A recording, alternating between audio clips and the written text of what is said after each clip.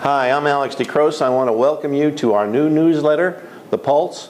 Each month we'll take a look at what's going on here in the State House and the people who make decisions that can shape the future of New Jersey. I hope you will find the content interesting and informative. If you have any suggestions or any comments, please let us know. You can always reach us at our website. Please feel free to forward this newsletter to any of your friends and neighbors who you think may be interested.